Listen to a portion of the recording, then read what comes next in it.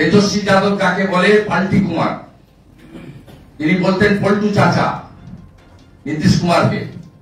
সেই তেজস্বী যাদবকে সাথে নিয়ে নীতিশ কুমার সরকারি অফিস নবান্নতে দুপাশে জাতীয় পতাকা মাথায় অশোক স্তম্ভ লাগিয়ে আবার কেন্দ্রের সরকারকে বদলে ফেলার জন্য তথাকথিত বিরোধী দল অর্থাৎ চোরেদের সিন্ডিকেটের ঐক্যবদ্ধতা একতার আহ্বান করে গেছেন আমি মমতা ব্যানার্জিকে প্রথম প্রশ্ন করব যে আপনি রেড রোডে ড্রামা ধর্ণা দিয়েছিলেন, একটা ওয়াশিং মেশিন রেখেছিলেন।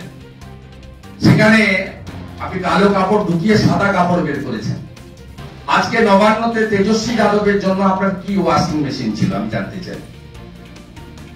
কত বড় ওয়াশিং মেশিন ছিল, কোন কোম্পানির ওয়াশিং মেশিন ছিল? যে তেজস্বী যাদবকে আপনি সেই ওয়াশিং মেশিনে ঢুকিয়ে সাদা করে তারপরে নবান্নতে আপনার পাশে বসার জায়গা করে দিয়েছেন, বলার সুযোগ করে দিয়েছেন।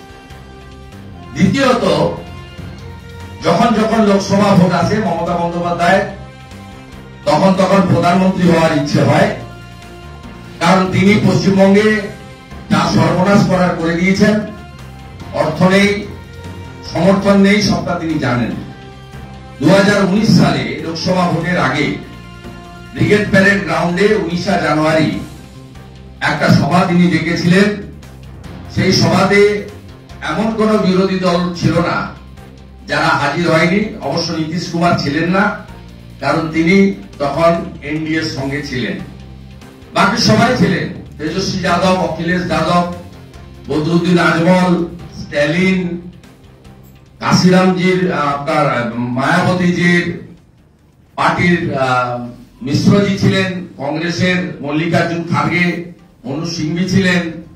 শুধু বিজেপি ছাড়া সমস্ত নন বিজেপি বা নন এনডিএ পার্টির লোকেরা সেদিন ছিলেন, হাত তুলে দাঁড়িয়েছিলেন। তার ফলাফল মানুষ দেখেছে, ইউনাইটেড ইন্ডিয়ার পরিণতি দেখেছে। তৃণমূল কংগ্রেস ইতিমধ্যে সর্বভারতীয় দলের তকমা চলে গেছে। এটি একটি রিজিওনাল পার্টিতে আঞ্চলিক দলে পরিণত হয়েছে এবং সর্বভারতীয় ইলেকশন কমিশন ইসিআই পশ্চিমবঙ্গের সিও কে যে তালিকা দিয়েছেন, তাতে পশ্চিমবঙ্গের দুটো পার্টি স্টেট পার্টি রেকগনাইজেশন পেয়েছে, একটা অল ইন্ডিয়া তৃণমূল কংগ্রেস আর একটা হচ্ছে অল ইন্ডিয়া ফরওয়ার্ড ব্লক স্বাভাবিকভাবে আগামী দিনে একটা জাতীয় পার্টির যে যে মর্যাদা থাকে, ভোটের মেশিনে বা ব্যালটে প্রথমের দিকে নাম, এটা দ্বিতীয় স্তরের সারিতে থাকবে। কাউন্টিং হলে প্রথম সারিতে জাতীয় দলের প্রতিনিধিরা থাকবে, আঞ্চলিক দলের প্রতিনিধিরা দ্বিতীয় সারিতে থাকবে। আঞ্চলিক দলের প্রতিনিধিরা সর্বভারতীয় ক্ষেত্রে ইসিআই কোন মিটিং এ ডাক পাবে না। ভোটার তালিকা পশ্চিমবঙ্গ ছাড়া আর কোন রাজ্যে। তারা ইসিআই যে সরকারিভাবে বরাদ্দকৃত সে ভোটার তালিকা তারা পাবে না।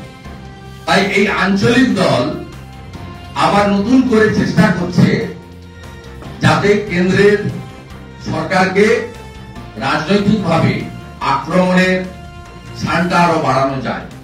তা আমরা মনে করি এটা একটা অশুভ আঘাত। মোদীজির নেতৃত্বে যে লড়াইটা গোটা ভারতবর্ষে হচ্ছে, না খাউঙ্গা না খানে দুঙ্গা তাতে যারা যারা আক্রান্ত হয়েছেন, সেই সব পার্টিগুলো দুর্নীতিগ্রস্তদের একটা জোট হয়েছে। যেমন ইউপিএ ইন্ডিয়া আছে, কেরালা ইউডিএফ এলডিএফ আছে, তেমনি এখন করাপশন ইউনাইটেড ফ্রন্ট তৈরি হয়েছে, যার চেয়ারম্যান হয়েছেন মমতা ব্যানার্জি আর যার কনভেনার হয়েছেন অরবিন্দ কেজরিওয়াল। এই নটা পার্টি মিলে তারা ইতিমধ্যে সুপ্রিম কোর্টে গেছিল ইডি আর সিবিআই কে তার তদন্তে বাধা দিতে সেখানে সুপ্রিম কোর্ট তাদের পিটিশন রিজেক্ট করেছে। এই জোট হচ্ছে হাফ হার্টের জোট, এর কোনো দিশা নেই। আমরা সবাই নিশ্চিত, আগলে বার মোদিজি চারশো পার।